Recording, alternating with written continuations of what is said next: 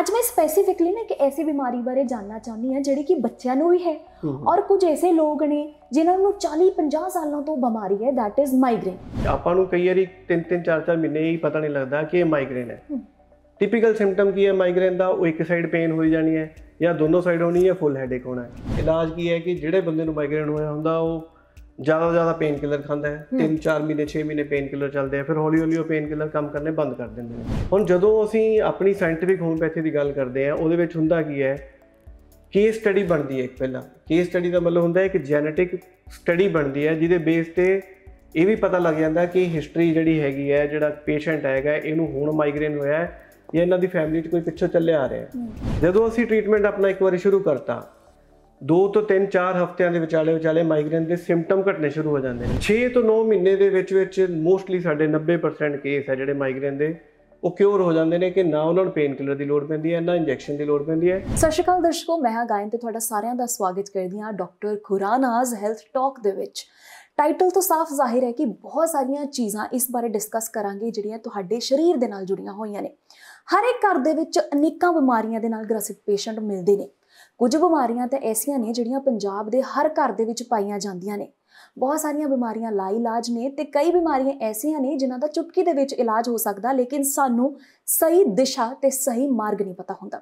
ਤੇ ਇਹੀ ਮਾਰਗ ਅੱਜ ਅਸੀਂ ਤੁਹਾਨੂੰ ਦੱਸਣ ਜਾ ਰਹੇ ਹਾਂ ਕਿਉਂਕਿ ਸਾਡੇ ਨਾਲ ਨੇ ਡਾਕਟਰ ਸੁਨੀਲ ਖੁਰਾਨਾ ਜੋ ਕਿ ਹੋਮਿਓਪੈਥੀ ਸਪੈਸ਼ਲਿਸਟ ਨੇ ਔਰ ਹੋਮਿਓਪੈਥੀ ਤੁਹਾਡੀ ਬਿਮਾਰੀ ਨੂੰ ਜੜ ਤੋਂ ਖਤਮ ਕਰਦੀ ਹੈ ਤੁਹਾਡੀ ਬਿਮਾਰੀ ਨੂੰ ਦਬਾਉਂਦੀ ਨਹੀਂ ਹੈ। ਸੋ ਡਾਕਟਰ ਸੁਨੀਲ ਅੱਜ ਮੈਂ ਸਪੈਸੀਫਿਕਲੀ ਨਾ ਇੱਕ ਐਸੀ ਬਿਮਾਰੀ ਬਾਰੇ ਜਾਨਣਾ ਚਾਹੁੰਦੀ ਹਾਂ ਜਿਹੜੀ ਕਿ ਬੱਚਿਆਂ ਨੂੰ ਵੀ ਹੈ ਔਰ ਕੁਝ ਐਸੇ ਲੋਕ ਨੇ ਜਿਨ੍ਹਾਂ ਨੂੰ 40 50 ਸਾਲਾਂ ਤੋਂ ਬਿਮਾਰੀ ਹੈ is migraine ਹਾਂ ਸਿਰ ਨਾਲ ਰਿਲੇਟਡ ਬਿਮਾਰੀ ਔਰ। ਜਿੰਨੂੰ ਬਿਮਾਰੀ ਇਹ ਲੱਗਦੀ ਹੈ ਨਾ ਮੈਨੂੰ ਲੱਗਦਾ ਉਹ ਬੰਦਾ ਨਾ ਕਿਤੇ ਕਈ ਵਾਰੀ ਇਦਾਂ ਮਹਿਸੂਸ ਕਰਦਾ ਹੈ ਮੈਂ ਕਿਤੇ ਨਹੀਂ ਜਾਣਾ ਮੈਂ ਸ਼ੋਰ 'ਚ ਨਹੀਂ ਜਾਣਾ ਮੈਂ ਸ਼ੋਰ 'ਚ ਜਾਵਾਂਗਾ ਮੇਰੇ ਮਾਈਗ੍ਰੇਨ ਸ਼ੁਰੂ ਹੋ ਜਾਏਗੀ ਮੈਨੂੰ ਪ੍ਰੋਬਲਮ ਹੋ ਜਾਏਗੀ ਮੈਂ ਉੱਥੇ ਜਾ ਕੇ ਜ਼ਿਆਦਾ ਬਿਮਾਰ। ਹੋ ਜਾਵਾਂਗਾ ਲਾਈਕ ਮਾਈਗ੍ਰੇਨ ਦੀ ਸ਼ੁਰੂਆਤ ਦੇ ਸਿੰਪਟਮਸ ਕੀ ਹੁੰਦੇ ਨੇ ਤੇ ਮਾਈਗ੍ਰੇਨ ਹੁੰਦੀ ਕਿਉਂ ਹੈ ਬੇਸਿਕਲੀ ਦੇਖੋ ਮਾਈਗ੍ਰੇਨ ਕੀ ਹੁੰਦਾ ਹੈ ਮਾਈਗ੍ਰੇਨ ਦੇ ਵਿੱਚ ਬੇਸਿਕਲੀ ਇਹ ਜਨਰਲਾਈਜ਼ ਹੈ ਕਿ ਮਾਈਗ੍ਰੇਨ ਚ ਪੇਨ ਹੁੰਦੀ ਹੈ ਦਰਦ ਹੁੰਦੀ ਹੈ ਹੁਣ ਉਹ ਦਰਦ ਹੁੰਦੀ ਹੈ ਬੰਦੇ ਨੂੰ ਉਹ ਦਰਦ ਕਿਸੇ ਵੀ ਵਜ੍ਹਾ ਨਾਲ ਹੋ ਸਕਦੀ ਹੈ। ਆਪਾਂ ਨੂੰ ਕਈ ਵਾਰੀ 3-3 4-4 ਮਹੀਨੇ ਹੀ ਪਤਾ ਨਹੀਂ ਲੱਗਦਾ ਕਿ ਇਹ ਮਾਈਗ੍ਰੇਨ ਹੈ। ਟਿਪੀਕਲ ਸਿੰਪਟਮ ਕੀ ਹੈ ਮਾਈਗ੍ਰੇਨ ਦਾ? ਉਹ ਇੱਕ ਸਾਈਡ ਪੇਨ ਹੋਈ ਜਾਣੀ ਹੈ ਜਾਂ ਦੋਨੋਂ ਸਾਈਡ ਹੋਣੀ ਹੈ ਫੁੱਲ ਹੈਡੇਕ ਹੋਣਾ ਹੈ। ਆਪਾਂ ਨੂੰ ਜਦੋਂ ਐਕਸਪੀਰੀਅੰਸ ਕਰਦੇ ਹਾਂ ਕਿ ਹਾਂ ਮਾਈਗ੍ਰੇਨ ਹੋ ਰਿਹਾ ਉਹਦੇ ਨਾਲ ਕੀ ਹੁੰਦਾ ਹੈ? ਨੋਸ਼ੀਆ ਵੋਮਿਟਿੰਗ ਉਲਟੀ ਉਲਟੀ ਵਾਲੀ ਫੀਲਿੰਗ ਔਰਾ ਬੋਲਦੇ ਹਾਂ ਆਪਾਂ ਇਹਨੂੰ ਸਾਇੰਟਿਫਿਕ ਲੈਂਗੁਏਜ ਵੀ। ਔਰਾ ਉਹ ਹੁੰਦਾ ਹੈ ਉਹ ਬੰਦੇ ਨੂੰ ਬਾਰ-ਬਾਰ ਬਾਰ-ਬਾਰ ਹੋ ਹੀ ਜਾਂਦਾ ਹੈ।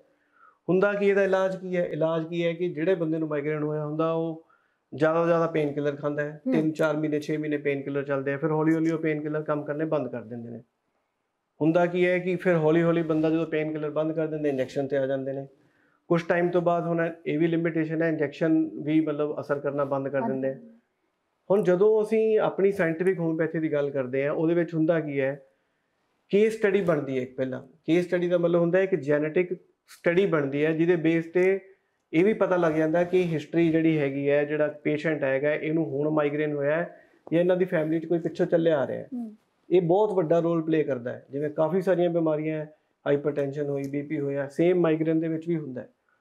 ਜਦੋਂ ਅਸੀਂ ਟ੍ਰੀਟਮੈਂਟ ਆਪਣਾ ਇੱਕ ਵਾਰੀ ਸ਼ੁਰੂ ਕਰਤਾ 2 ਤੋਂ 3 4 ਹਫ਼ਤਿਆਂ ਦੇ ਵਿਚਾਲੇ ਵਿਚਾਲੇ ਮਾਈਗ੍ਰੇਨ ਦੇ ਸਿੰਪਟਮ ਘਟਨੇ ਸ਼ੁਰੂ ਹੋ ਜਾਂਦੇ ਨੇ। ਮਤਲਬ ਕਿ. ਬਹੁਤ ਇੰਟੈਂਸ ਪੇਨ ਹੈ ਉਹ ਘਟ ਕੇ ਥੋੜੀ ਘਟ ਹੋ ਜਾਣੀ ਹੈ।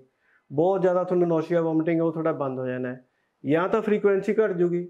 ਜਾਂ ਡਿਊਰੇਸ਼ਨ ਘਟ ਜੂਗੀ। ਓਕੇ 6 ਤੋਂ 9 ਮਹੀਨੇ ਦੇ ਵਿੱਚ ਵਿੱਚ ਮੋਸਟਲੀ ਸਾਡੇ 90% ਕੇਸ ਹੈ ਜਿਹੜੇ ਮਾਈਗ੍ਰੇਨ ਦੇ।